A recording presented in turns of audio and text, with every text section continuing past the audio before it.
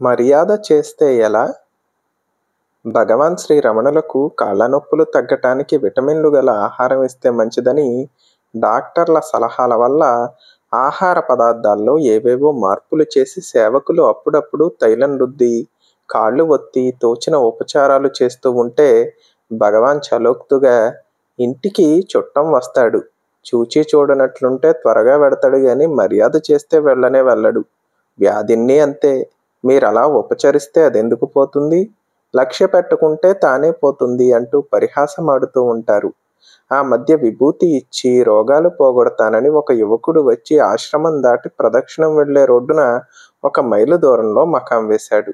జనానికి వేలం వెర్రి కాదు ఆ విభూతి స్వామిని చూడాలని నేల ఈనినట్లు వ్యాధిగ్రస్తులు దెయ్యాలు పట్టినవారు భూతాలు పట్టినవారు అక్కడికి పోతూ వస్తూ ఆశ్రమానికి వచ్చేవారు.